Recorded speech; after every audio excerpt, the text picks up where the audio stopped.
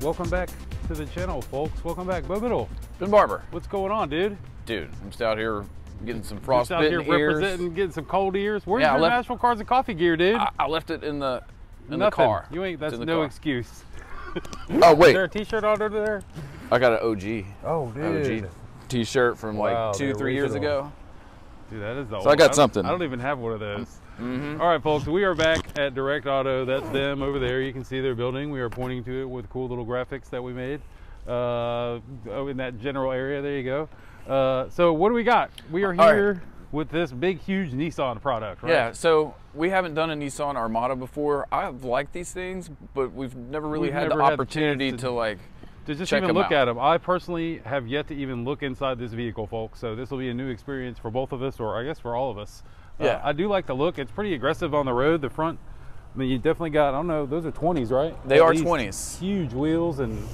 Uh, It has a very commanding presence on the It road. is. Like It is it's very, it's a uh, big SUV, It man. definitely looks. Go ahead and stand up next to it, close to that mirror, so people can kind of get an idea of like the general size of it. So yeah, it is a pretty large SUV there.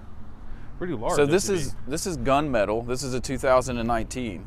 and it's got that old V8. Or wait, wait. I'm sorry. Let me let me. Get your books. It does have the uh, original window sticker, which I appreciate. Yeah. Because we oftentimes don't know What we're looking anything at. about these cars when we grab them.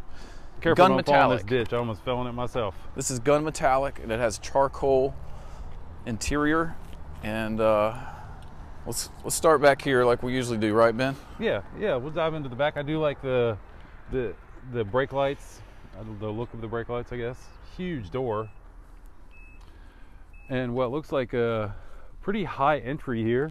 As you can see, Bo's waist almost at the. Uh, It is a really high entry point. It looks like you got power fold third row seating here, which is pretty awesome. Let's uh Let's press the button there. See what do some. Oh, okay.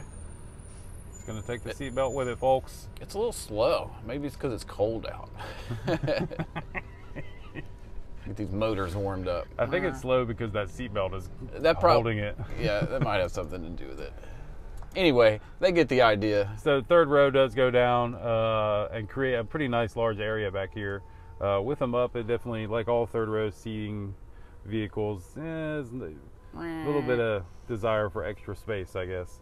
Uh, you do have some power jacks over here, uh, and just kind of peer in here. There is cup holders, uh, and uh, what looks like the seats do recline from there too. There's a little reclining button. That's pretty. That's pretty amazing. Uh, Let's try to right, fall so- into that ditch again, Ben. yeah, we, both of us just fell right in it. this car's so big, we had to back it up so far to kind of get it in the shot we wanted, and and then uh, yeah, now we got ditch. now we got a ditch.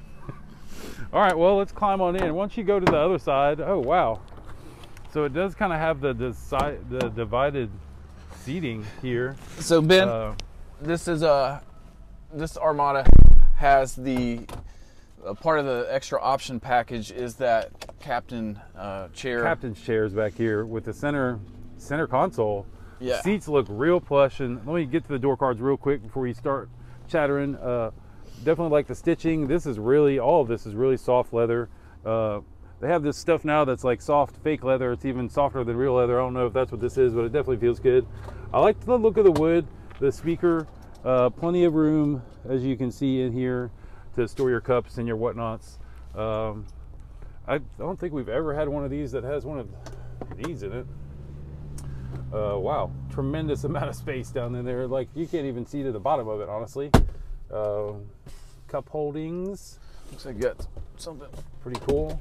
Oh, dude, more storage. More storage piled in That underneath is a there. huge storage compartment right there. And so these seats, uh, these seats do recline a little bit, which is nice. Uh, I'm gonna go ahead and climb in here. I'm gonna go ahead and turn the car on, Ben, because it's yeah, get the It's heat cold. going, will you?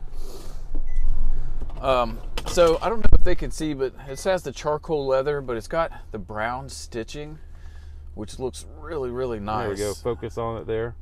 Uh, the brown definitely matches the rest of the wood inside the cabin. Uh, one little disappointed on the uh, size of the sunroof. there is such a massive roof in here. You figured they'd put a they could have put a big old glass panel. Maybe they do, and they didn't option it for this one. Now this is the SL trim, so this isn't the fully optioned uh, platinum. I believe is the top trim level, uh, but this thing still, still I has. Mean, dude, this looks amazing. Yeah, I mean you've got uh, heated seats here. Um, Check the backup camera. Let's kind of start oh, there and see how she. One thing I like about the backup camera, Ben, is that I haven't noticed this with other cars, but you do have the 360 view, but it also shows you the angle in which your front wheels are turning yeah, yeah. up here, and I just think that's kind of a, a cool feature. Yeah, it's awesome. Uh, I like I like the functionality. They haven't really changed much about their dash. I mean, this dash was created, I feel like recently in the last 10 or 15 years, as far as having this nice knob in the middle. Um, Infiniti kind of took it and did similar things with it. Um, I feel like this is kind of a oh, gives dated you the forward camera there too. Yeah, it is a little dated, but it's not. It's it functional. Does, it's very yeah, very functional. I guess that's the key nowadays. It, some of these cars, they're not going to recycle them every three or four years. They got to do them a seven or eight long, seven or eight year long ergonomics package, and you know, as long as it's functional, right, Bo? It's like yeah, you, you would hate to have all this stuff not work right. Um, open these cup holders so folks can kind of see what kind of space they got there plenty of space. Looks holders. like there's space for cell phones, and then underneath yep. by the gear shift, you got a bunch of different. Um, Here's your four-wheel drive charging, charging, points. Oh yeah, you got your nice little four-wheel drive knob with the uh, different settings there. That's pretty cool. Yeah. Um, what about the steering wheel? How's the steering wheel functionality? Looks like it's kind of a basic uh, Nissan steering wheel for the most part. Yeah. Um, now this car does, does have, have, the. Um, it's got lane your tracking or lane assist or whatever. Well, it's got that cru- the adaptive like adaptive cruise. There you go. I, I, know I don't know what Nissan calls it. I think it's like intelligent something or the other, but um, yeah, it's one of those things that's kind of a necessity on new cars now or newer cars. You definitely got to have that adaptive cruise. Uh, everybody gets so used to it. I do like just kind of some of the other quick little touches here before we hop out and go check under the hood. Two vents. This is nice. Two separate vents uh, for the guys in here. Uh, it does have a nice handle here for uh, ingress and of the vehicle, which is, it, is cool. Is it comfortable it's, back there? It's honestly, I feel like I'm probably sitting up there as far as these seats go. Like the seats are really cozy and comfy, uh, plenty of space. Uh, I think the only thing missing back here is the heated seats, right? I mean, the, the, the yeah, and that's probably something that would come on the the next trim. This is like the whatever they call I think it. the SL is the one down, and right. then it's the platinum above it. So they got to reserve some features for that. That's probably what these two switches are. I bet that's for your cooled, cooled or heated. Your cooled seats. You do have heated up here, so that's nice. But really cool. Um, all right, well let's jump underneath the hood. Give her a couple revs since you have it started and I'm by the exhaust. Nothing too exciting, but it does kind of. It's got a big. It got, had a little pop up there. Had did have a little pop up. Uh, while we're here, we'll do a quick look at these front seats. I know they're not going to be too terribly different than those rear seats. Um, but wow, look how high the headrest goes. this headrests are really high. Uh, really cool seat. Uh, really cool look inside here as well. You know, the dash. I like this slope that comes down. You can kind of see like a waterfall almost. Um, and again, the door cards are really nice and plenty of room down there for your cups and whatnot.